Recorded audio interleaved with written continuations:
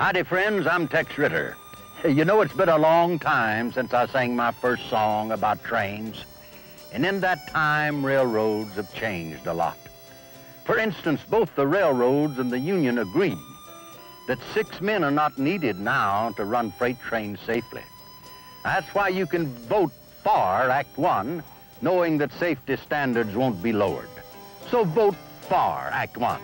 Help yourself and help Arkansas.